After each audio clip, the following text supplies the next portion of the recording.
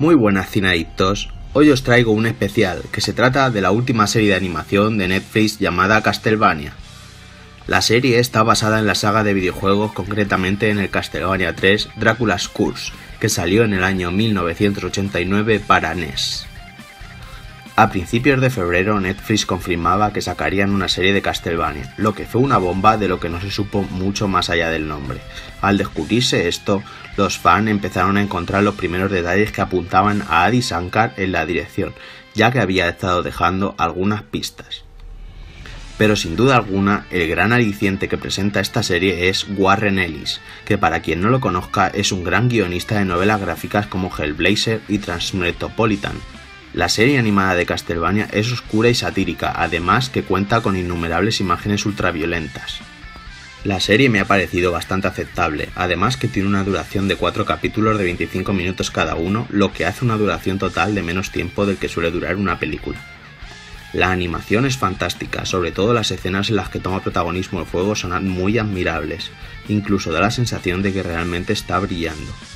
El primer capítulo se centra demasiado en Drácula y en su historia, lo que no tiene demasiado que ver con la historia de Castlevania. Pero en ese primer capítulo algo le sucede a la esposa de Drácula y este enfurece locamente y desata a un numeroso ejército de bestias. Pero no es hasta la parte culminante de la historia donde aparece nuestro protagonista Trevor Belmont, y en la que ya no queda ni rastro de Drácula. En el videojuego el pueblo teme a la familia Belmont y es algo que han plasmado a la perfección en la pequeña pantalla. De hecho, esta serie no es complementaria a la saga de videojuegos de Castlevania, y de hecho, si eres muy fan de los videojuegos, es probable que no te termine de agradarte esta serie. Pero sí que han conseguido un buen trabajo con ella, ya que su duración es corta y la animación es bastante buena. Y de la historia, poco podemos opinar, ya que esta finaliza en el momento más álgido de la historia. Así que tendremos que esperar a la segunda temporada para ver cómo continúa. Aunque no me quiero marchar sin decir un aporte negativo que le he encontrado a la serie, que es este.